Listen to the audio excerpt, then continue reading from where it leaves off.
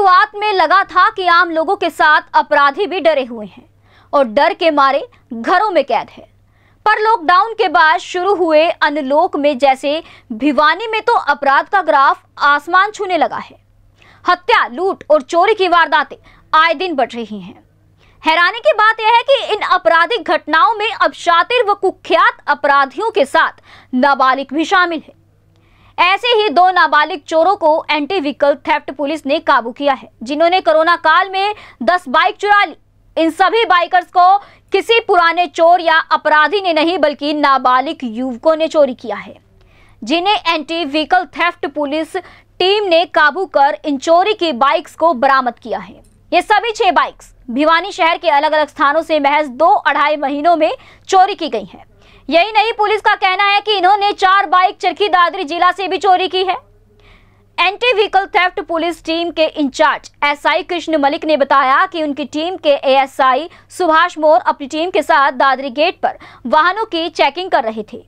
इसी दौरान दो युवक एक बाइक पर आए। इस बाइक की नंबर प्लेट नहीं थी, जिसके चलते पूछताछ में इन दोनों युवकों ने कबूल किया कि ये बाइक चोरी की है। और इसके अलावा इन्होंने पाँच बाइक भिवानी से और चार बाइक चरखी दादरी जिला से चोरी की हुई है। कुल मिलाकर इन दोनों युवकों ने एक अन्य साथी के साथ मिलकर कोरोना काल में दस बाइक चोरी कर ली, जिनसे भिवानी से चोरी की गई सभी छह बाइक्स बरामद कर ली गई। पुलिस का कहना है कि दोनों चोर नाबालिग हैं, जिनकी उम्र करीब साढ़े सत्रह साल है।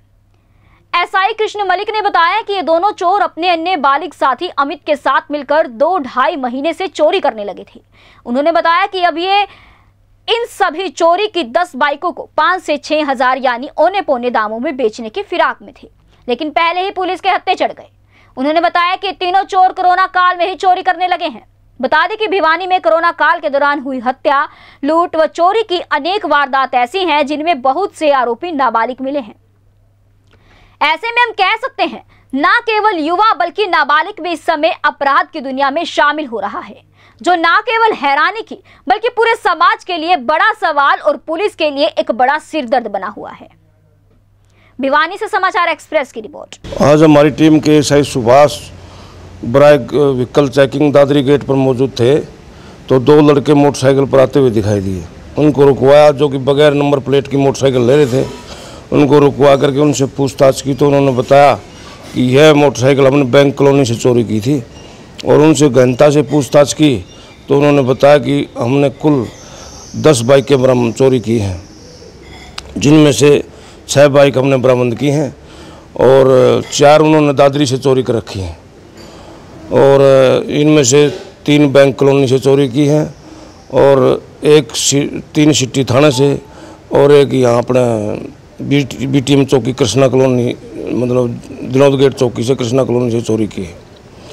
और ये लगभग तीन महीना के करीब चोरी करने लग रहे थे और इन्होंने काफ़ी मात्रा में मोटरसाइकिल चोरी की है और इनका एक साथी जो कि बालिक है अमित नाम का लड़का वो अभी गिरफ़्तार नहीं हुआ है उसको गिरफ़्तार करेंगे। वो उसके नेतृत्व में ये मोटरसाइकिल चोरी कर रहे थे।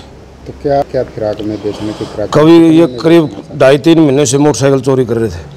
और अब ये मोटरसाइकिलों को बेचने के फिराक में थे और इसलिए हमने इसी दौरान इनको हमने पकड़ लिया और इनसे हमने कुल छः बाइक बरामद की है। क्या पहले भी इनका कोई चोरी का रिकॉर्ड? पहले कोई मुकदमा चोरी का नहीं है अभी पहली बार गिरफ़्तार हुए कितने में बेचने की फिराक में थे? क्या करते हैं उस पैसे बता रहे हैं जी इनके छः सात हज़ार रुपये में बेचने के फिराक में थे। एक मोटरसाइकिल। एक मोटरसाइकिल।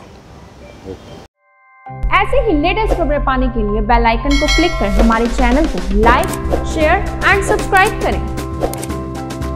धन्यवाद।